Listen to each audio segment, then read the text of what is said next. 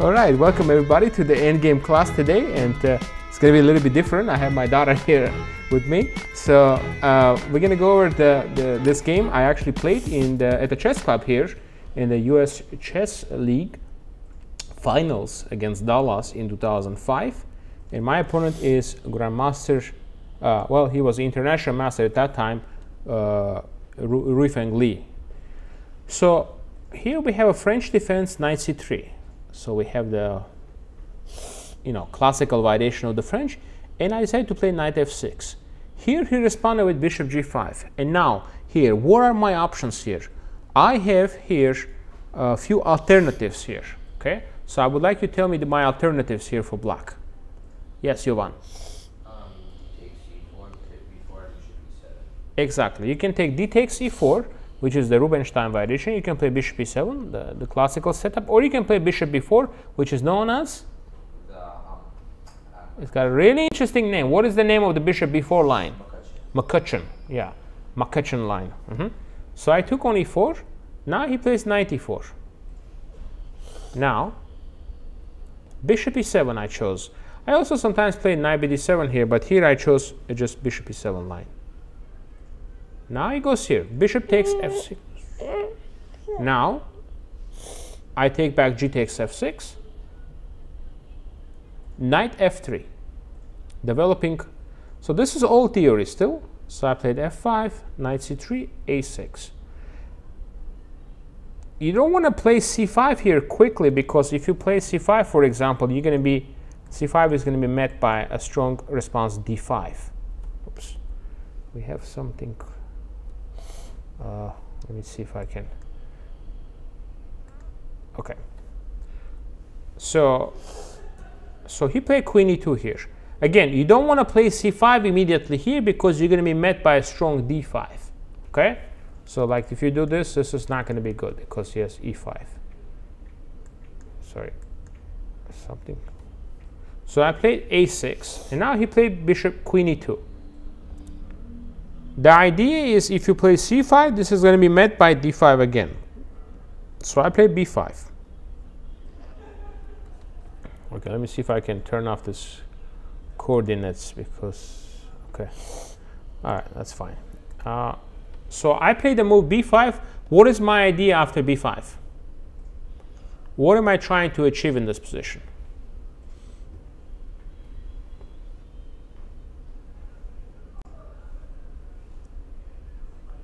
Yes? Um, you're clearing the way for, you're clearing the long, uh, diagonal and you want to play b4. Yeah, absolutely. Bishop b4. So now I play long castle. And now he is gearing up. He is gearing up to play the move d5. So this move needs to be stopped. This move has to be stopped. It needs to be prevented, okay? How? How we are going to do that?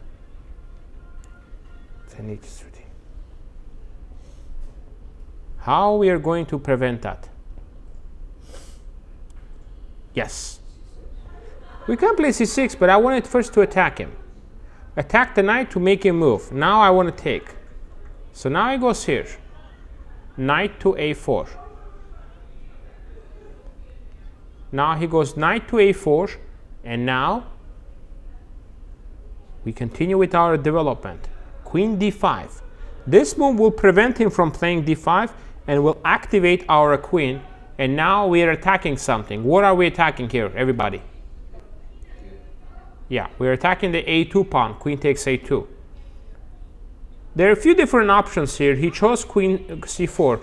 If he goes king b1, I just go knight d7 and continue with bishop uh, bishop b7. This is what I'm trying to do. And I go something like this, bishop b7 and queen b5. And black is black is doing fine here. Okay? So that's why he played uh, queen to c4, activating his queen and now proposing the exchange. I don't want to take because, uh, well, if I take, the problem is he has bishop takes and now d5 I have to deal with, which is a very strong idea. Okay? So d5 I have to deal with its very, very strong idea. So, so that's why I don't uh, want to do that.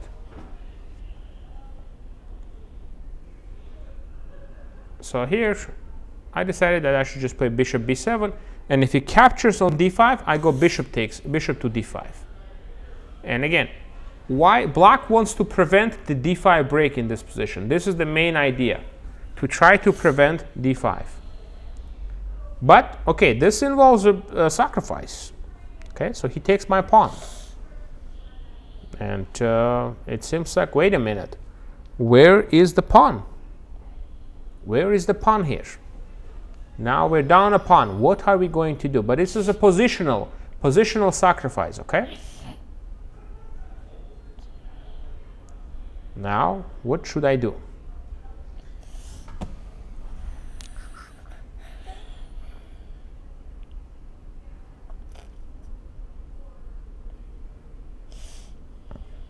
What should black do in this position? They need to now.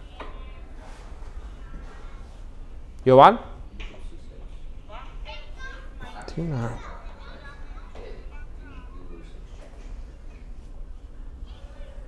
Just knight d7.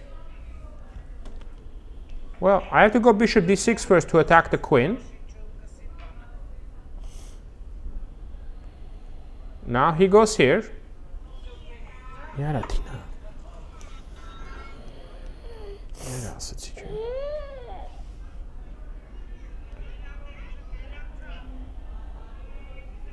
Now, because if he goes to b6, I have knight d7. So he goes here, I go knight d7, just developing now. He takes, bishop takes d5.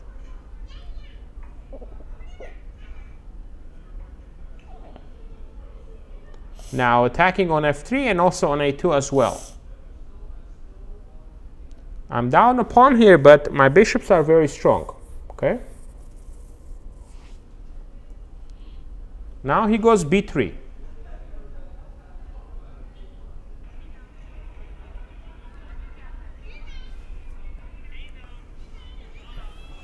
Now he goes b3. Now, Jovan? King e7 to connect the rooks. Eh, I played rook g8 because I want to put pressure. Yeah, this way I'm putting pressure. Yeah, because the rook on g8 will put pressure on g2.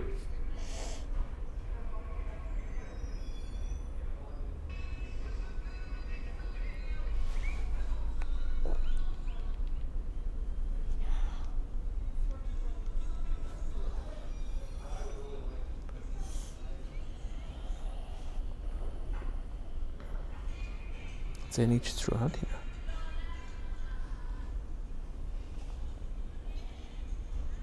Now I played rook g8 because I want to put pressure on g2 and if he develops the bishop I can take. So it's very difficult even though he is up a pawn it's very difficult for white to move.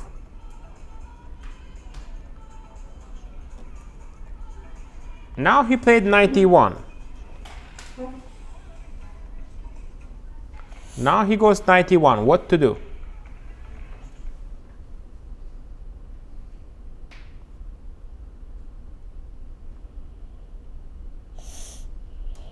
What should I do here?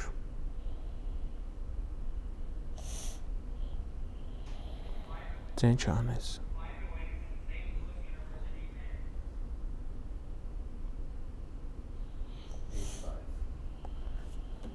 I decided to go king e7. That way I can connect my rooks. Okay? I mean, I can play h5, but I think it's just better to connect the rooks because I can play h5 a little bit later on. Okay? Now he goes here. Bishop to e2.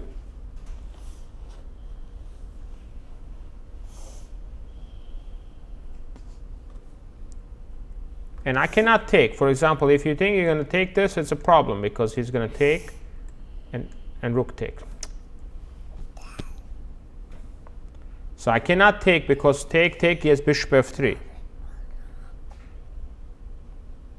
Now, what should I do?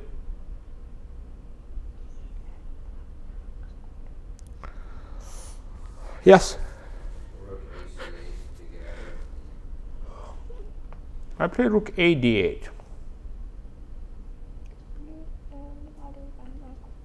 bishop f3, I take.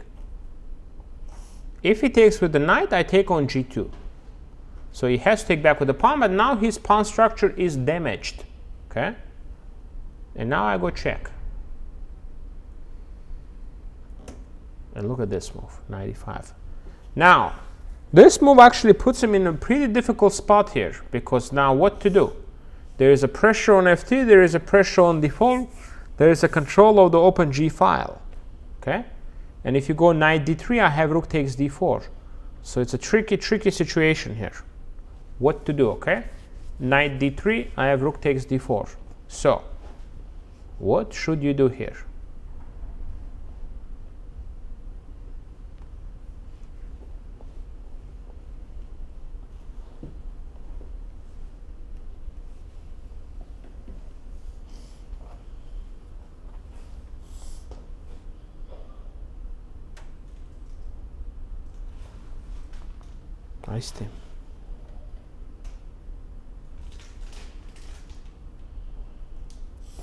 Ενάσαν δε τι τι άνες, και να δε απειλήμουν τι τι άνες. Τι τι άλλα απειλήμουν.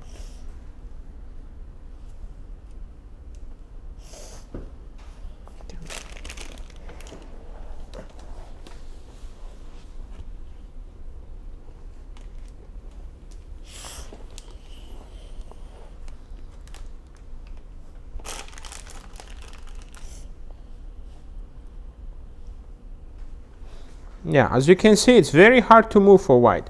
His pieces cannot move, even though he's up a pawn, but he's got a lot of weaknesses. H2, F3, H, everything is weak. Yes, Jovan.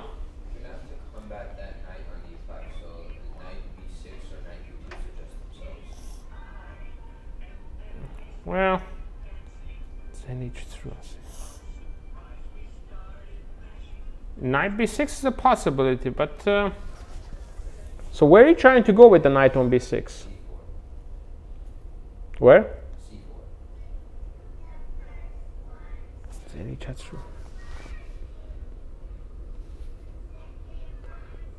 Yeah, it's an idea.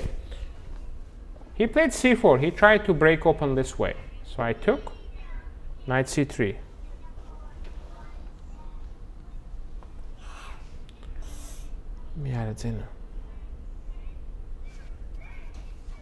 Now he goes knight c3.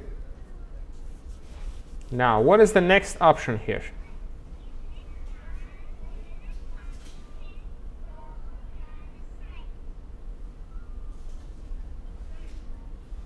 Now, what should I be doing here?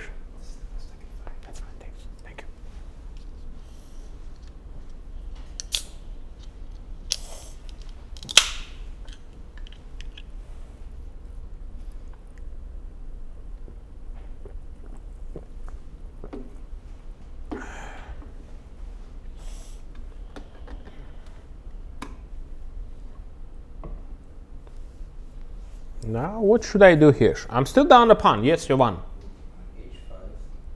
H5. H5 is an idea. What else? H5 is interesting, Jovan. What else? Now that knight is there, do you have to reposition your knight? Or exactly. Excellent thinking. Yes. Knight c6. Now we're attacking the d4 pawn.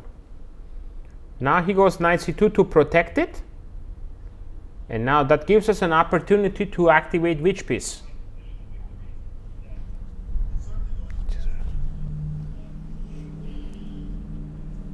That gives you an opportunity to activate which piece?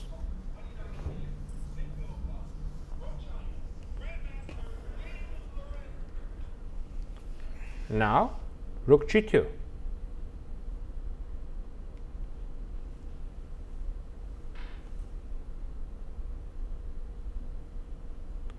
Now this attacks f2. Ja, dat is Tina staan.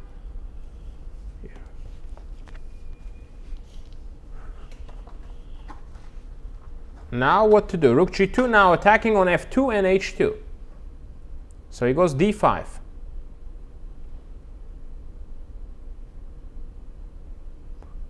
Now he decided to make a break. So he plays d5.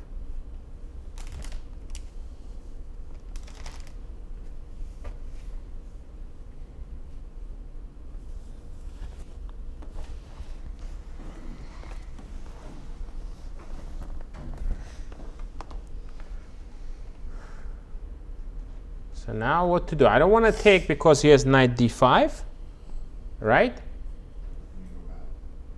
Well, we can go back, but it's better to go here because we want to attack on f3. Yeah, back. Oh, back to e5, correct. Back. Now he goes rook d4.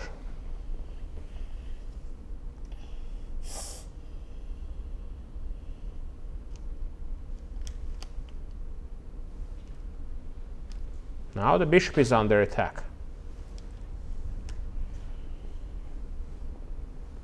So I decided to take on f2.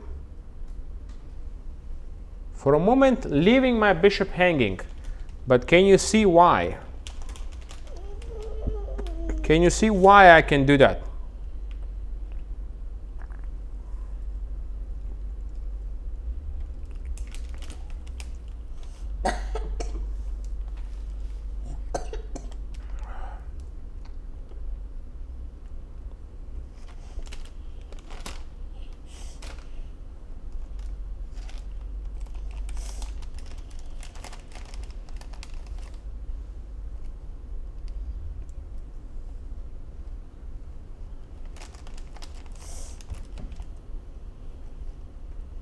Can you see why I can afford to give up my bishop?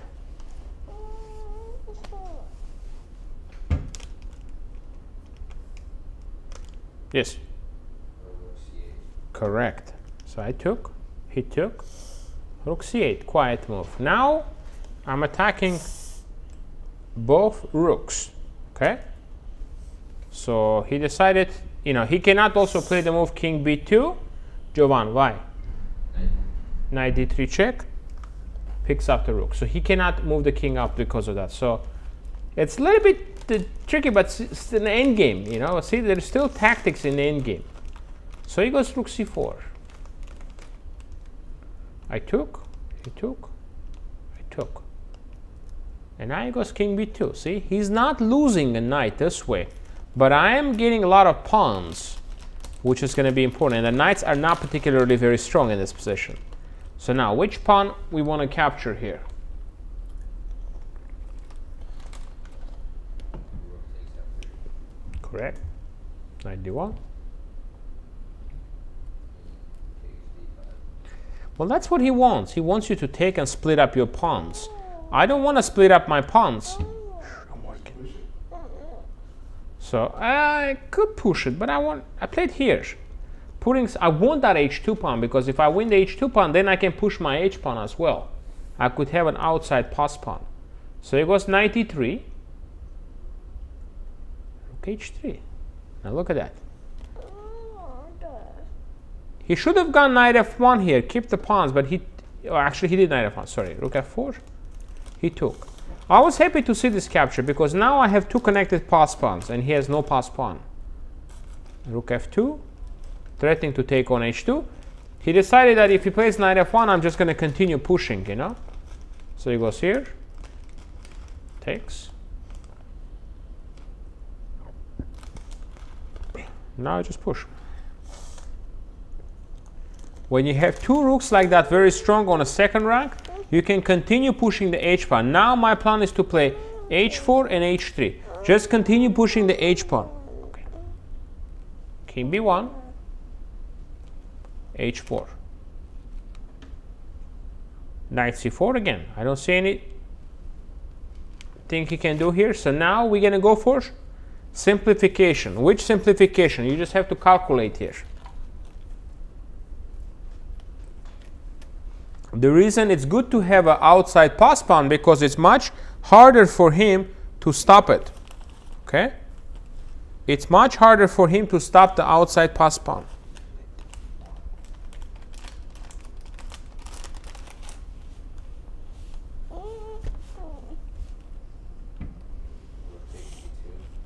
Huh? Rook takes c2. Perfect. He takes. Just push. Just push, right? and his knight his knight cannot get there. His knight can, is just too far away from stopping the pawn, and that's why I was so focused, as you can see earlier in the game, to try to win the h pawn because the central pawns are nice, but the knights are right there in the middle. It's going to be harder to promote the central pawns. But outside pawn, I knew it. It will be much easier because then it will be very difficult for the knights to defend. So that's why I wanted to win the h2 pawn. Okay. So that's why I went for this position. Okay, in fact, um, he probably could have defended a little bit better. He could have maybe done something, but uh, th this is probably a very difficult position for him uh, because my both of my rooks are very active, and two knights are not that strong in this kind of positions. In which kind of positions you would say the two knights would be strong? If there are more pawns on the board and the character of the position is more closed. If the character is closed, then the knights could be dominating. But you know, open board like this, where uh, you know the, the knights are not very effective because they can only check, and in this position they cannot even check. So this is an example for you where two knights are actually quite weak instead of being strong here. Okay, so and that's why I concentrate. I concentrated on winning the h pawn. I think I do believe that he should have probably just tried to keep the knight there. That would have made my task a little bit more difficult. Okay, probably still is winning. I was going to go rook f2 and try to push, but by by doing this, he made it easier for me. Now, I pressure on c2, and I just push. Uh, perhaps he could have maybe done something else, not to allow rook c2, but I don't see what he can do because if he plays like even knight f1, what would be the best way to win this game? Yeah, I could, but I can just go rook h1, I think. Knight f1. Yeah. Yeah, okay. So here I just push. So if knight f1, simply rook comes to h1, putting pressure here. So yeah, but the game ended, uh, as you can see, like this. I took, and here he resigned. In fact, yeah, this was a very good win because it helped us to, win the finals and win the U.S. Chess League. Okay, all right, that was the game against Ruifeng Li. So as a French defense, Rubinstein variation. I'm going to show you one position.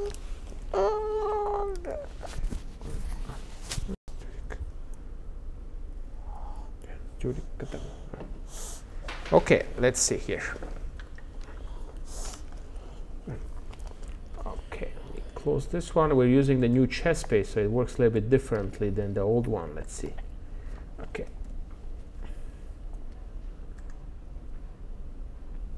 So we're going to do one uh, bishop endgame. That's one of my favorite bishop endgame positions, since this class is on endgames. So.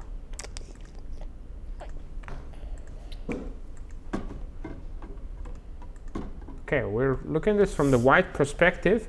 We're about one square away from queening, okay? But it, it's, it's very hard to do it, okay? It's very hard to do it, and you have to use a spe special method here to be able to win this position. Because you promote the pawn, he's going to sacrifice for it. His king is very, black king is very active. So what method we can use here to win this game. So I want to give you some time to think. So we're going to pause here for a few minutes and see if you can find this solution. The plan for white to win this.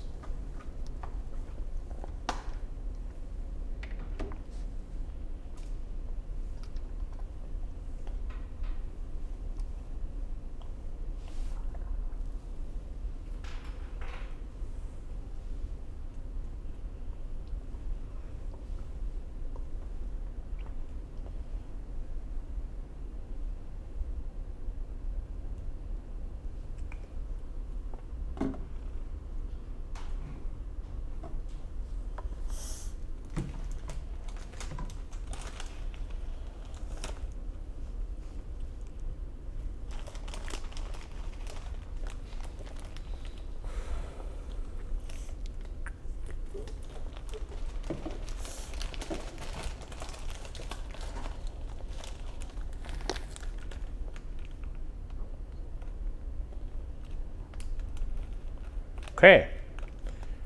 You had a couple of minutes to think, so let's see if you have any thoughts here. Jovan. Uh, play bishop uh, G4, bishop G5 Bishop g5 or bishop h4, for example. Yeah.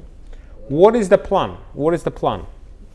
Well, um, plan is to go to a7 and b8, but the thing is, he can get his king over in time to stop it. So what you need to do in this position is to um, force it, is to force the bishop out out of the safe location on h2, so that whenever you um, decide to actually br- implement the plan of bringing the bishop to b8, uh, you can get a tempo on the bishop. For example, if bishop here was Okay, well let's let's see. Let's let's let's let's see the concrete moves. Bishop h4. Yeah, if I don't do anything, you're gonna be able to win because of this. Okay? And you're gonna go here and you're gonna go bishop to b8. Okay? And this is a win because you're gonna kick the bishop from a long diagonal. You're gonna go here, and then you're gonna get him out of here with the bishop g1. Okay? So you're going to be good in this. He takes, you're going to promote into a queen. But the problem is, when you do this, he's going to go here.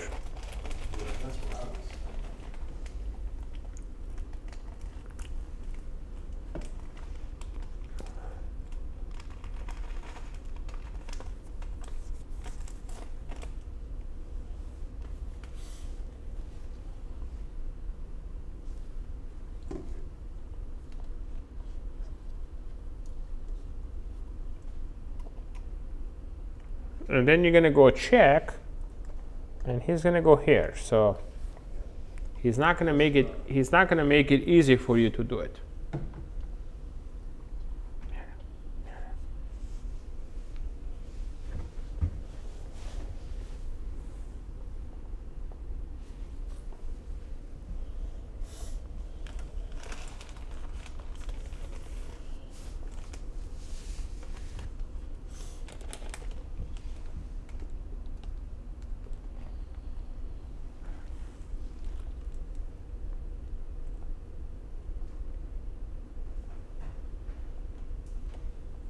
Jovan.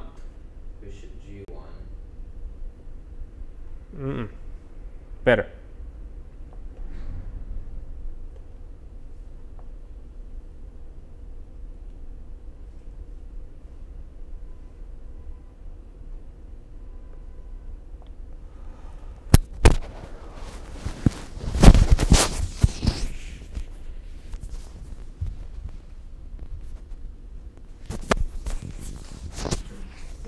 Mic fell off here. Sorry.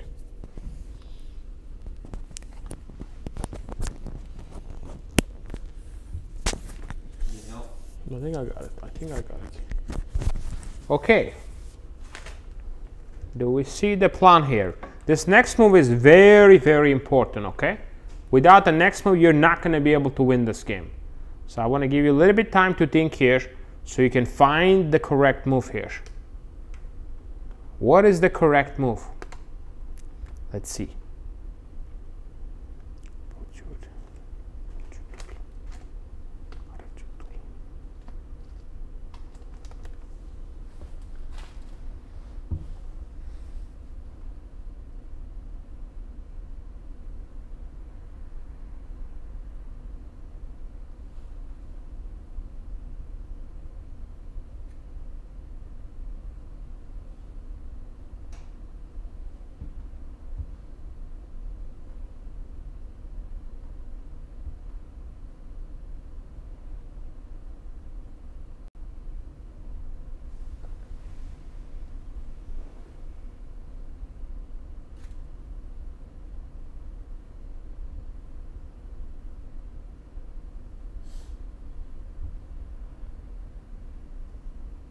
Bishop e3. Huh? Bishop e3. No. Better. You want to control the d6 square. This is very important, okay? So he doesn't have the d6 square, the bishop. So that gives you a hint what might be the first move.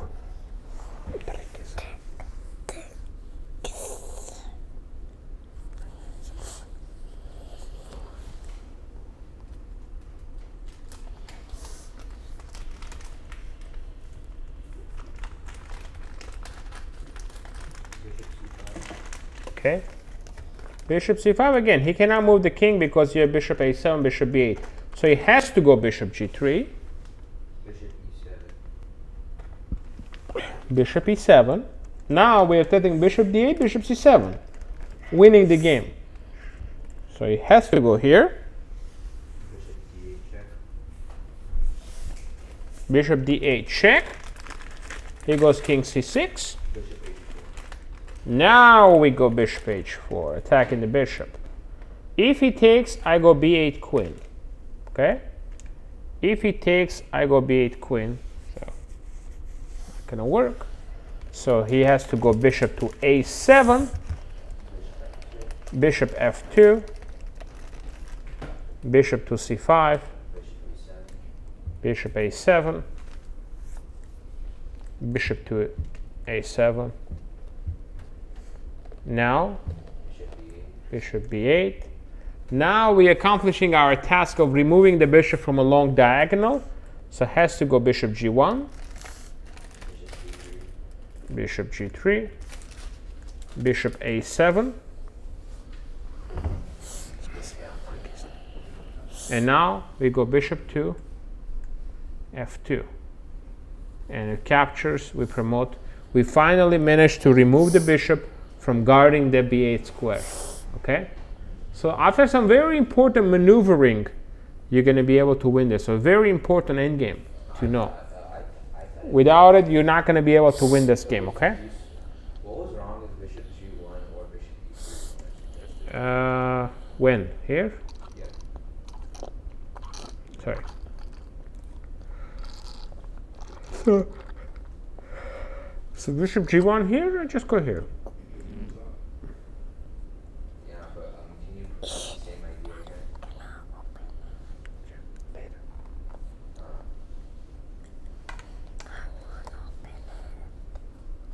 Oh yeah, you can't do that.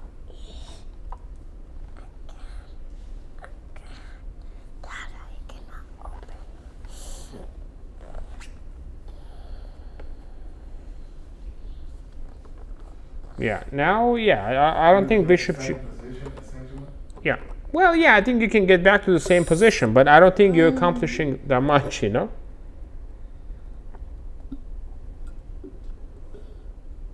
I don't think you're accomplishing that much by playing bishop g1 because he still remains on the long diagonal.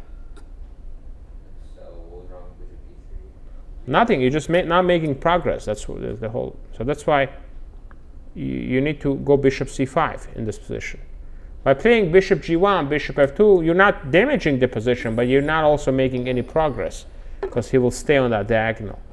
In order to do it, you have to play the move bishop g5 to make progress. Okay? So that's a very important endgame for you. And at the end, we'll do for the final position. It was a very important king and pawn position. Uh, some of you might know this position, but it's it's a it's an excellent example of the king and pawn endgame. White to play and draw.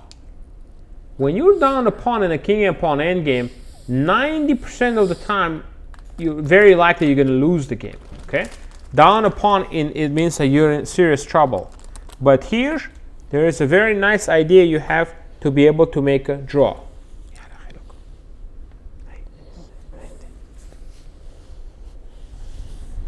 Okay? Okay, what's the idea? King h4. Because if you go to f1, he can force, force you One second, let's let's see. King h1. The idea of king h1 is is giving you what kind of opposition? distant opposition. Distant opposition, okay? It's a, it's an odd number of squares between both kings, so it gives you a distant opposition here, okay?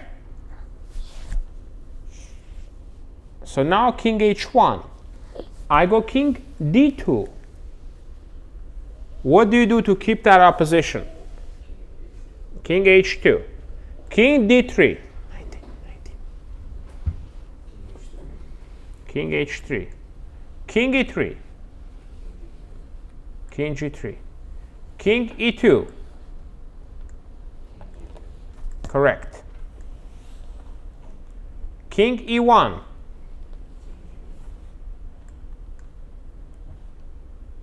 King d1, king h1. And now you just keep doing that. King e1, king g1, king e2, king g2. Now he goes g4, the last attempt to make things complicated. Now what do you do? Correct. If take, the e pawn is going to queen. Check. Yeah, with the check, and you're going to lose. So that's why you have to go king g2.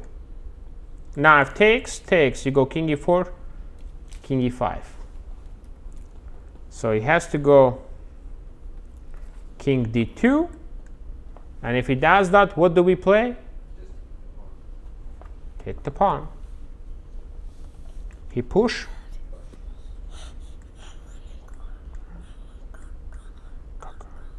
Yeah. And you quit. All right. Okay, excellent. Very good. Thank you everybody for joining the class and we'll be back next Tuesday with more endgame coverage for you, okay? Okay, bye-bye. Okay, okay.